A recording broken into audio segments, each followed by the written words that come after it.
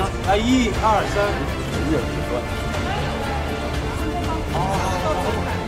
大家好，欢迎来到梦想剧场。任嘉伦的新剧《无忧渡》杀青了，期间不时也有路透流出来，路透下的他妆造有些不尽如人意，照片的质量也让人忍不住替新剧担忧。但是杀青照出来之后，一切的顾虑都没有了，用重拾少年感来形容他，实在是太贴切不过了。先看这张杀青时的照片，瞬间就有一种惊艳的感觉。此前看他的综艺或是活动现场图，总觉得现代装的他有点瘦得过分，粉丝留言也大多是希望他可以不要再瘦，甚至要求他适当再长胖一些。但是看到他在无忧渡里的妆造时，这种感觉瞬间就没有了。任嘉伦果然是任嘉伦，他太了解什么样的造型适合什么样的角色了。出演《一生一世》里的化学教授周生辰时，他会为了角色有意长胖一些；主演《无忧渡》时，会为了角色再有意轻减一些。他的胖与瘦完全符合了他对于自己职业的尊重，是一位非常值得我们喜欢和推崇的好演员。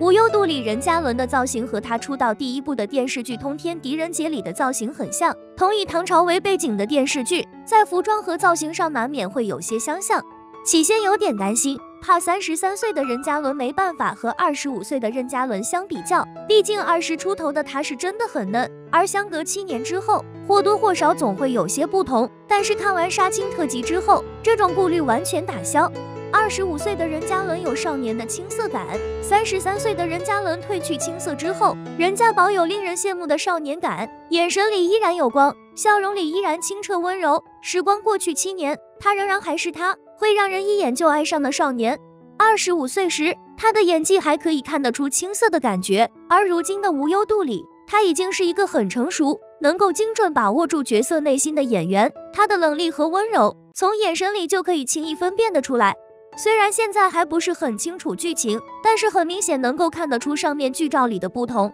任嘉伦是一个很神奇的演员，第一眼喜欢他，一定是因为他的长相或是哪个角色，但是渐渐的深挖下去，会喜欢他的全部，每一个角色都不同，不是单纯的帅，而是真正的一人千面，完全的不同。看过任嘉伦的很多剧，解析过很多个他的角色，但是到了《宣夜无忧渡》里，男主宣夜及任嘉伦饰演的角色。仍然能看得出不同，他的笑或怒都有住不同的感觉，是一种截然不同的新面孔。这种不同的感觉会让人把他的每一个角色都隔离开，不会有雷同或似曾相识的感觉。角色的辨识度是任嘉伦的成功，是他赋予每个角色灵魂之后展现出的活的他们。也正因如此，我们才能一而再的爱上这些角色。锦衣之下的陆毅，大唐荣耀的李处，周生如故的周生辰，请君的陆岩等等。任嘉伦是一个可塑性非常强的演员，或傲娇的少年，或沉稳的中年王，或欢脱的大男孩，每一种角色都能给人一种他就是这个角色的感觉。